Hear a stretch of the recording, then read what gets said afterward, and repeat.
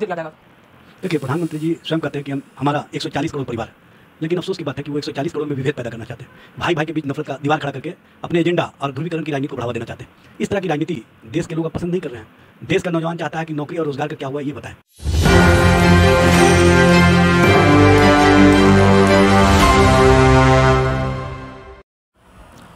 नमस्कार मेरा नाम प्रिंस मिश्रा है और आप न्यूज़ ट्वेंटी देख रहे हैं। हमारे साथ बातचीत करने के लिए राजद के प्रदेश प्रवक्ता इजाज अहमद हैं। सर, कल राजस्थान में जो है देश के प्रधानमंत्री प्रधानमंत्री ने बोला है कि जो बच्चे पैदा करे, पैदा करते हैं, उनको जो है सत्ता में आने के बाद उनको जो है सारा चीज़ दे दिया जाएगा। देखिए, प्रधानमंत्री जी स्वयं कहते हैं कि हम, हमारा 140 करोड़ परिवार है। लेकिन अफसोस की बात है कि वो 140 करोड़ में विभेद पैदा करना चाहते हैं। भाई भाई के बीच नफरत का दीवार खड़ा करके अपने एजेंडा और ध्रुवीकरण की राजनीति को बढ़ावा देना चाहते हैं।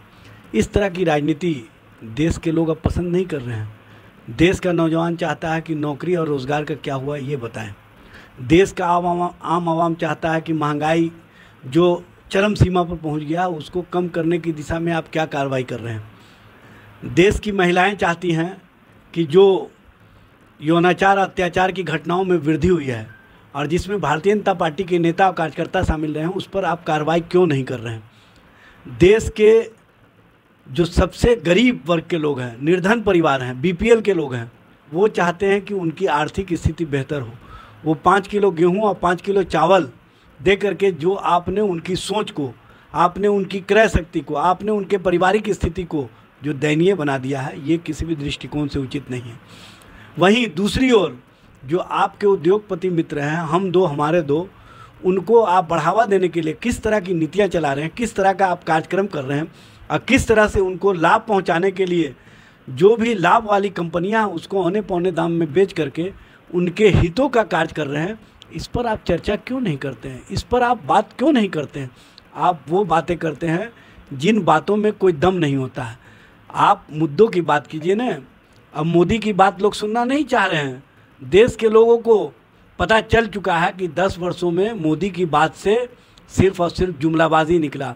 भरम और धर्म की राजनीति निकला और कहीं ना कहीं आम लोगों को परेशानियों में डालने वाला इनका जो सोच है, वो स्पष्ट रूप से सामने आया। इसलिए भारतीय जनता पार्टी और केंद्र की सरकार दस वर्षों में क्या किया है, इन कार्यों को आप बताइए ना। आप दूसरे के कार्यों को और दूसरे के बातों को अपनी राजनीति का आधार आकार मत दीजिए। अब देश की जनता इसको सुनना नहीं चाहती है। बिहार की हम लोग बात कर लेते हैं क्योंकि बिहार जो है दिल्ली तक सफ़र सफ़र जो होता है, बिहार और जो उत्तर प्रदेश जो है, काफ़ी अहम भूमिका निभाती है। तो क्या लगता है, बिहार में इस बार जो है, आप लोग पार करने दीजिएगा या नहीं पार करने दीजिएगा? देखिए, सबसे पहले तो जो 400 का पार का नारा लगाते थे 102 में वो बेकार हो गए। 102 सीटों का जो देश भर में चुनाव हुआ, इन्होंने जो जुमला का पहाड़ खड़ा कर दिया था, लोगों ने वोटों के बरसात से इनके जुमले के पहाड़ को ढाने का काम किया और बताने का काम किया है कि अब जुमलाबाजी नहीं चलेगा। और आप देख रहे हैं कि उसके बाद से प्रधानमंत्री जी और अनर्गल बातें और धर्म भरम की बातें करना शुरू कर दिए हैं। यह स्पष्ट रूप से संकेत है कि देश की जनता परिवर्तन चाहती है। देश की जनता स्पष्ट रूप से इनको कह दिया है कि आप जो 400 पार की बात कर रहे हैं, आप 400 की बात अब करना छोड़िए। अब जनता आपको तड़ी पार करना चाहती है, जनता आपको सत्ता से बाहर करना चाहती है, जनता अब आपको देखना नहीं चाहती है, क्योंकि दस बरस बड़ा चीज़ होता है, एक युग समाप्त हो गया, एक युग में आपने कुछ नहीं किया, जिस तरह की राजनीति आपने की है, उस राजनीति से जनता और जनता का भला कहीं से नहीं हुआ।